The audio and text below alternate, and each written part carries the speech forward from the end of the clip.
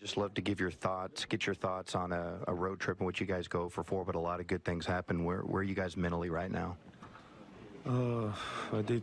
We play against four of the top top teams in the NBA, so I think we had uh, some great some great things. Uh, we were close in every game, so uh, we just gotta learn how to close those games. Do you feel like you know you got guys do have some momentum going, like you're about to turn the corner? Is everybody's spirit still up about the squad? Yeah, I think we're gonna win. We have we're gonna have a, a streak for sure. Uh, our chemistry is getting way better. Uh, it's a new team, so we, we're gonna figure it out for sure. Let me get your thoughts on that shot to take it into overtime, the everything that set it up, and all the way till it went in. I mean, just uh, I would say I don't know. He just went in. It was a tough shot. Uh, I don't know. I don't know what to say. Did J- was that the plan the whole time? Did Jalen know he was coming to you?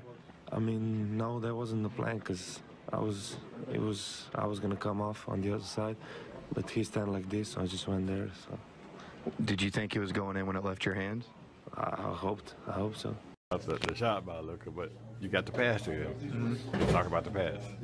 Um, I mean, I just we kind of made eye contact and I saw how Harkless was playing, and I just I hit him right in stride.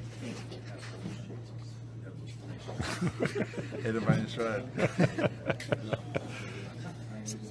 Yeah, obviously, you know, Luka practices those shots all the time. You know, is this that is that why is that why that you have confidence in him hitting shots like that? Um, I mean, Luka's obviously a great, big part of this team. So I mean, just give him a shot like that. I mean, whatever he throws up, it ends up going in. So a great pass.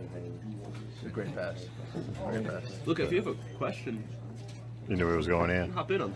Um, I, could, I was gonna say, um, I mean, when it kind of when it went up, I kind of was standing right under the basket. and I saw it was going in, so I knew it was good. I knew it was good. What kind of momentum did that shot give you guys? It gave us a lot of momentum, and um, but I mean, they're a good team. Uh, they were a playoff team for a reason, and it kind of showed why in overtime they didn't lose composure, and then just they just grinded it out.